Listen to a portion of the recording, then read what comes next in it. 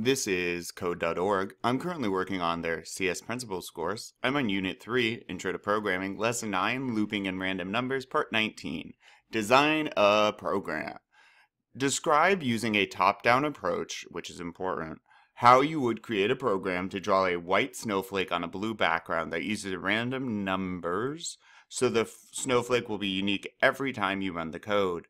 You don't need to write the exact code, oh that'd be tiresome, um, or blocks that you would use, but you should describe what functions you would need to create, where you would or not would not use loops, and where you would or would not use random numbers. Okay, top-down design is critical. It helps us solve problems better, and uh, well, what programming is is creating a method of solving a problem.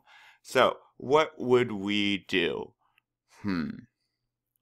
Well, what's that going to involve? To draw out a snowflake. Oh, also, plagiarism and bad. Do not plagiarize my answer. Do not come close to plagiarizing it. I'm doing this to think through an answer with you. I'll come up with my own answer, but your answer will and should be in your words. All right, so drawing a snowflake.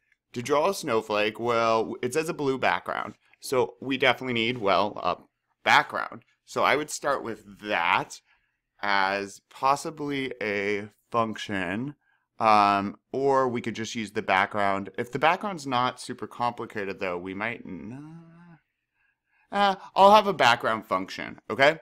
And then for drawing our snowflake, right, I'm gonna use several layers of functions for that. So I guess abstraction. Um, so I would have a draw snowflake function, and then within that function, I'm going to want to well, what does snowflake look like? If you see one drawn out, it's usually like a star with a bunch of uh, uh, branches on it, maybe, right? That all are shooting off in different directions. So, yeah, I might have draw snowflake, then I would have,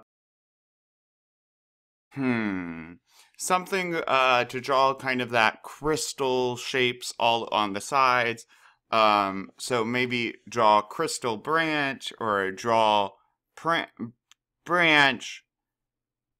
We'll say draw branch. And then um, I would have something that would crisscross the branch, right? Because then there's little side branches.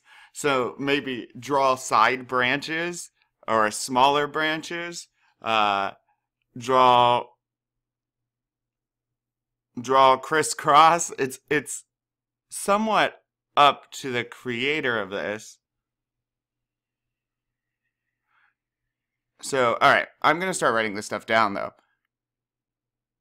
And function names are an excellent way to demonstrate top-down approach and to show that you have thought out a problem beforehand. So, I'm going to go ahead and write out my answer, then we'll talk about it.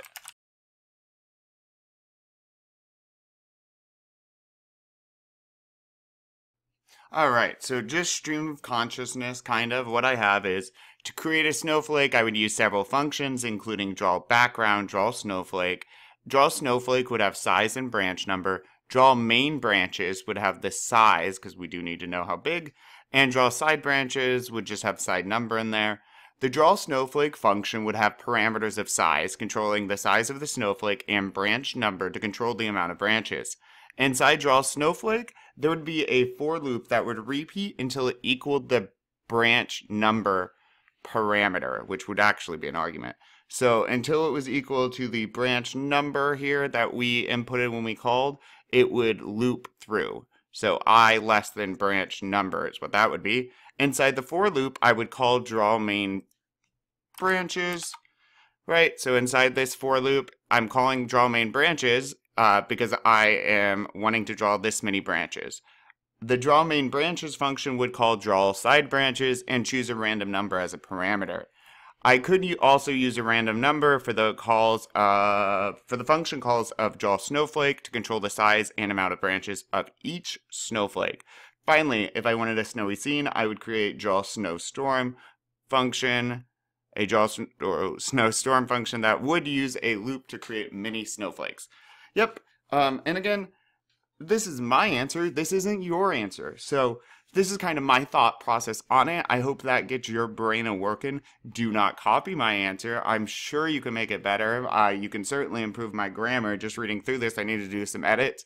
Uh, however, this is the idea. Top-down design, you really want to think of a program before you start creating. You want to break it down into these easy usable parts. Those parts can often be functions, and you want to make sure to eliminate repetition by using loops. It makes life easier.